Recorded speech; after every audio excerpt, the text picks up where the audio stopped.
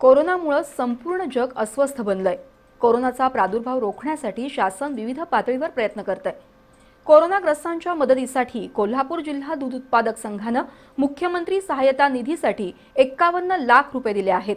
आज गोकुळच्या वतीनं एक्कावन्न लाखाचा धनादेश जिल्हाधिकाऱ्यांकडे सुपूर्द करण्यात आला. कोरोनाग्रस्तांच्या मदतीसाठी कोल्हापूर जिल्हा दूध उत्पादक संघाच्या वतीनं मुख्यमंत्री सहाय्यता निधीला एक्कावन्न लाख रुपये दिलेत. त्याचा धनादेश आमदार पी एन पाटील यांच्या हस्ते आणि गोकुळचे चेअरमन रवींद्र आपटे यांच्या उपस्थितीत जिल्हाधिकारी दौलत देसाई यांच्याकडे सुपूर्द करण्यात आला. या निधीत कर्मचाऱ्यांचा एक दिवसाचा बावीस लाख रुपयांचा पगार आणि संघाचे एकोणतीस लाख रुपये आहेत. संचारबंदीमुळे दूध उत्पादकांचं नुकसान होऊ नये म्हणून गोकुळनं दूध संकलन चालू ठेवलं असून मुंबई पुणे कोल्हापूर इथल्या ग्राहकांपर्यंत दूध पोहोचवण्याची जबाबदारी स्वीकारली आहे. तसंच जिल्ह्यातील सर्व गावांमध्ये पशुखाद्य आणि पशुवैद्यकीय सेवाही पुरवण्यात येत असल्याचं चेअरमन आपटे यांनी सांगितलं.